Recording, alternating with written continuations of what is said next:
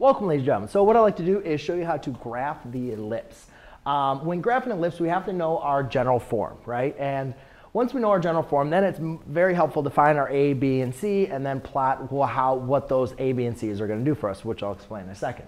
So first of all, let's go ahead and see. The main important thing when looking and graphing an ellipse is determine which is going to be our larger values. If our values for our denominators are the same, then we have a circle.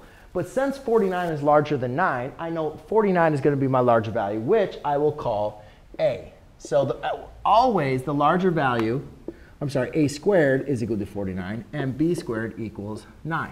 Okay? So uh, when dealing with an ellipse, the larger value is always going to be your a squared.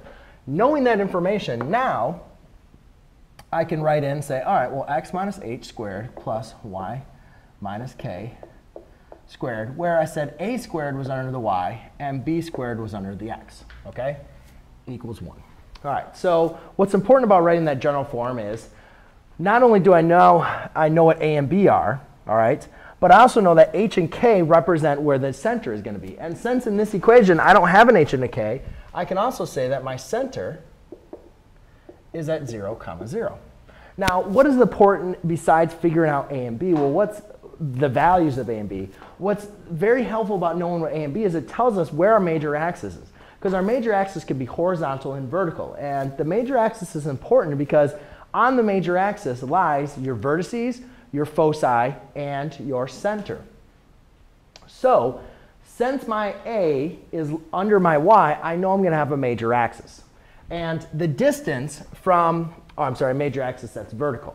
Now, the distance from the center to my vertices is a. So if a squared equals 49, a equals 7.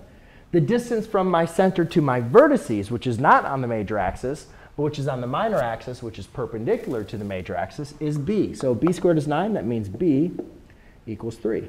The last one we need to figure out is c squared. Well, c squared is not up here. It's not in the equation, right? But c squared has a relationship of a squared minus b squared.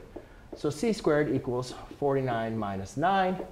c squared equals 40.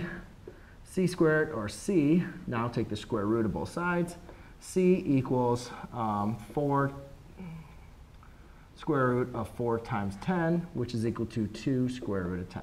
Okay, now c is important because c tells us the distance from the center to the foci. All right, so now let's go and graph. So we have a center at 0, 0, right? That one's easy. Now again, I remember I said it's going to go vertical, right? So from the center, we're going to go up and down to our vertices. And the distance to our vertices is a, which is 7.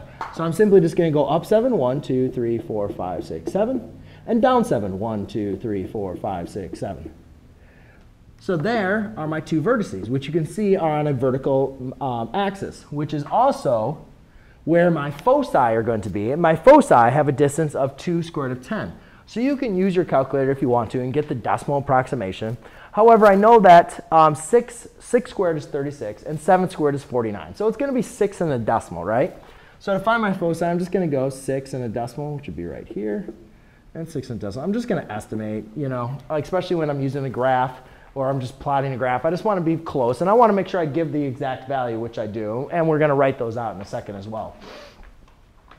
Then the last thing I need to do is determine the um, covertices, which has a distance of 3 from the center. So I just go right and left.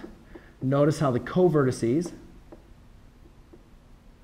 are on the, on the minor axis. And now I can just connect. OK, so the main important thing is we already wrote on the center. We want to write in our vertices. Again, the vertices were just up and down 7. So that's going to be 0, 7, and 0, negative 7 the foci was just up and down our, um, our foci. So that'd be 0, 2 square root of 10, comma, 0, comma, negative 2 square root of 10. And then lastly, our covertices. We're now just left and right from the center. So that's going to be 3. So that'd be 3, comma, 0, and negative 3, comma, 0. So there you go, ladies and gentlemen. That is how you graph an ellipse, as well as determine the vertices, foci, and covertices. Thanks.